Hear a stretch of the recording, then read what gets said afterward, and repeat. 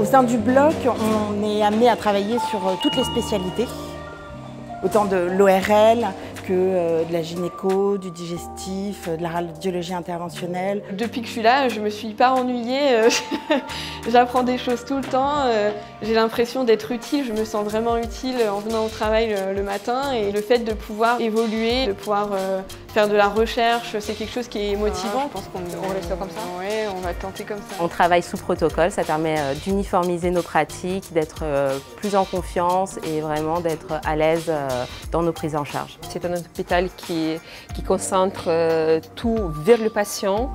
Il y a du matériel, des bonnes conditions de travail et puis une très bonne ambiance. Ce que j'aime à Gustave Roussy, c'est le fait de placer le patient au centre de notre prise en charge. Gustave Roussy a été euh, précurseur sur, par exemple, le patient debout.